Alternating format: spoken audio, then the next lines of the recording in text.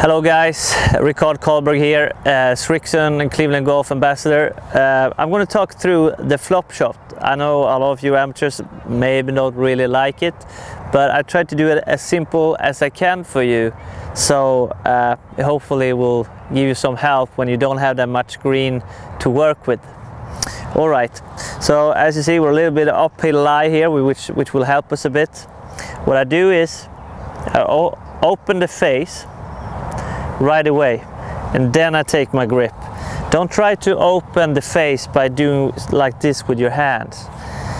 Put the face on and find that, that kind of open kind of feeling you want of the face and then you take your grip. So that's what I do. First of all, I aim a little bit more left. I take my stance a little bit more on you uh, towards your left foot is the ball position and from there I just try to swing it a little bit longer and harder.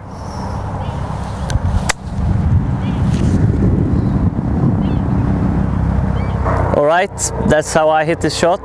I hope they will help you out with a few of those uh, short-sighted lies.